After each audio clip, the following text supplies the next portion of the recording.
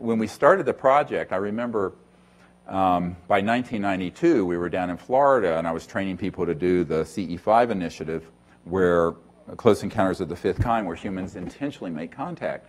And we were out on a beach, and you probably have seen, if you've seen the film Sirius, a very bad footage back then, high camera, but we were doing this, and then four ET crap popped, just pop, pop, pop, pop. And in the film, it doesn't look, but they were quite close. They were kind of blue, um, beautiful, kind of circular with light in the center. And there was a colonel in the Air Force there, and there was a guy who ended up writing uh, Bush's Brain, you know, about Karl Rove, the guy who wrote that book, Moore, he was there, all a bunch of people. And it was just a weekend thing. And of course, this went boom, straight up the chain of command. So within a month, I was getting contacts from the intelligence community.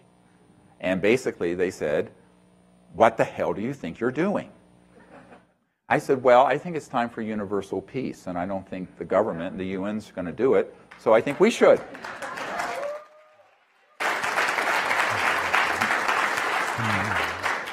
And in my inimitable way, I sort of, I just said, isn't it time for us to move on?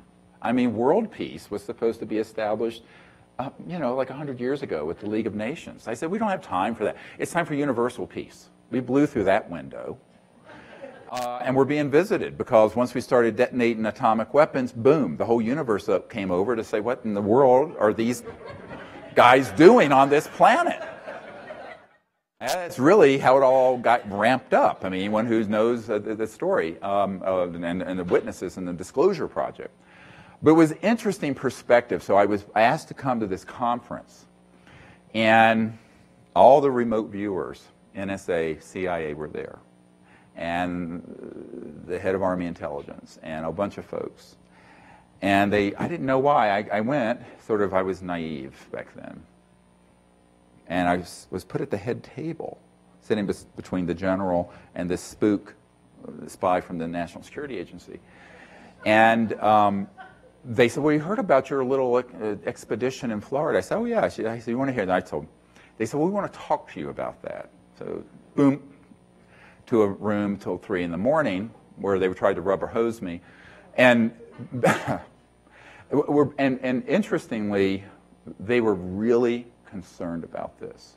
The whole reason the Disclosure Project happened is because people on the friendly end of the intelligence community who wants, want this out reached out, but then the unfriendlies came at me like a pack of wolves. But the, the, the upshot of this meeting was they said, Well, who the hell do you think you are? You don't have permission to do this. I said, I don't need your permission. I'm a citizen of the cosmos, I'm a free person. Um, and I said, I'm not going to be intimidated by you. And I said, you know, go pound salt in someone else's sandbox. Um, and, you know, I was, I'm very blunt and, and about that, you know, I mean, and, uh, you know, but they were really getting nasty. And, and I, it, later, it, it, came out that a, a, a, very good friend of Prince Charles's was there, and, um, and a woman, and she's very supportive of what we we're doing, real friendly. And she said to me, You know, they're really jealous of you. I said, What? I'm a country doctor rambling around in an ER doing this because I think it's the right thing to do. And they said, No, you're free. You're free. They're in this box. And they know that, that this is the Rosetta Stone of interstellar contact and communication in the future and they can't go out of the box that they've been assigned without being whacked. Literally. I mean, it's terminate with extreme prejudice, TWEP. So that's what it's called. So I said, oh, that's an interesting perspective. Now, this is in, you know, the spring of 1992, 23 years ago. And so what I began to, to realize is that we really are free. Thank God we're not the president of the United States or the director of the CIA or the people like that because we're free. We're not on anyone's leash. And the power of the Close Encounters of the Fifth Kind initiative is people going out doing this on their own, and that they cannot contain. Uh, they've contained a lot free energy, anti gravity, the fact that we're not a whole lot of stuff that I've been working for 25 years to bring out. but they can't control thousands, millions of people who know about this now, who are